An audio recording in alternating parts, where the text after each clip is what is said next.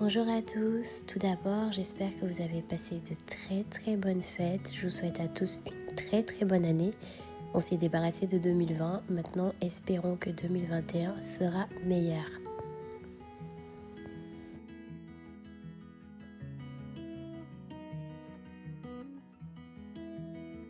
Aujourd'hui, nous allons voir ensemble comment cuisiner un bon tchèouiap à la sénégalaise en seulement 4 étapes.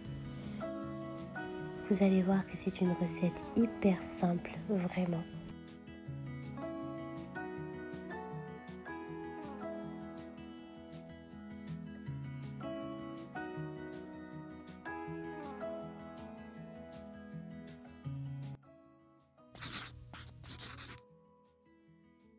Donc pour commencer de l'huile avec un tout petit peu de sel, vous allez faire cuire votre viande. Alors moi j'ai rajouté également des merguez.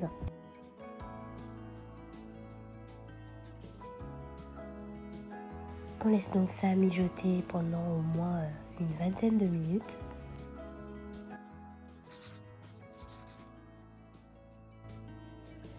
Pendant ce temps-là, on va s'occuper de notre fameuse nocos, notre marinade. Donc je commence par découper un oignon. Et je vais ensuite découper de l'oignon vert, une botte. Je découpe ensuite euh, mes trois piments verts. On n'oublie pas bien sûr le persil, on va venir mixer tout ça avec de l'ail, du sel bien sûr et du poivre. Tout ce mélange nous donne évidemment notre nocos qu'on va venir rajouter et le mélanger à notre viande. J'ai rajouté ensuite des oignons, donc deux oignons, ainsi que des feuilles de laurier et j'ai laissé mijoter pendant environ 15 minutes. 15 minutes après, j'ai rajouté 2 litres d'eau C'est maintenant le moment de laisser mijoter ça tout seul.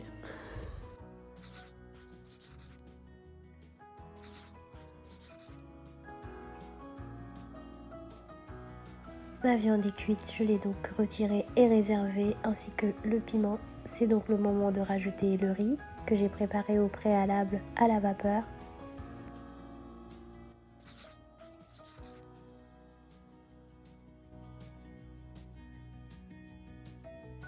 Et donc 45 minutes après, notre riz est bien cuit.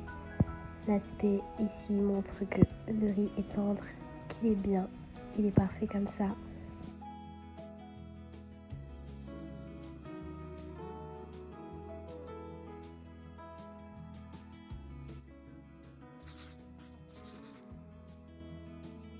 Cette dernière étape, est facultative, vous n'êtes pas obligé de faire une sauce d'accompagnement. Si jamais vous avez envie toutefois, vous avez juste à faire revenir donc vos oignons dans de l'huile d'olive. Vous rajoutez ensuite une cuillère à soupe de tomates concentrées. Je viens ensuite rajouter une cuillère à soupe de mon ocos. Je rajoute des carottes.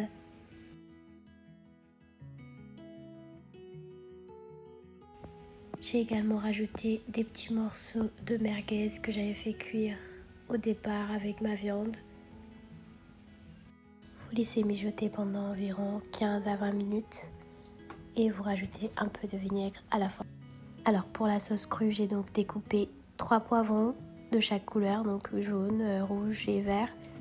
J'ai découpé un oignon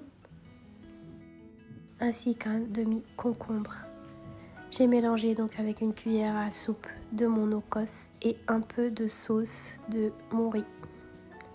Je mélange un petit peu le tout et je rajoute ensuite un peu de vinaigre à la fin. Et c'est tout. Alors juste pour le plaisir des yeux, donc pour la décoration, j'ai découpé donc des courgettes, saucisson de volaille et ensuite euh, un peu de carottes également. Et je vais venir fourrer ça avec ma sauce donc et faire des petits rouleaux voilà, juste vraiment pour la, la petite décoration. Si vous avez le temps et que vous avez des invités, c'est pas mal.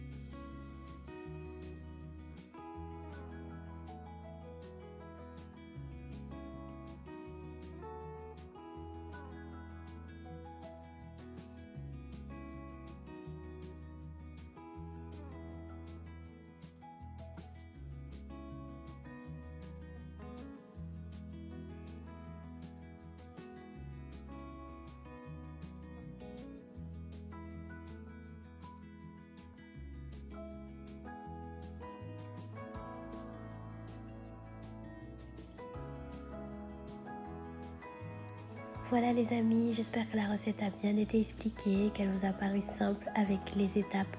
Euh, j'ai vraiment essayé de faire en sorte que ce soit le plus simple pour vous, donc j'espère que ça l'a été pour ceux qui n'ont jamais fait ce plat, bien évidemment.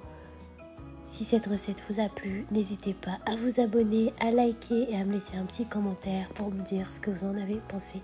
Et moi je vous dis à bientôt pour de nouvelles recettes. Bisous bisous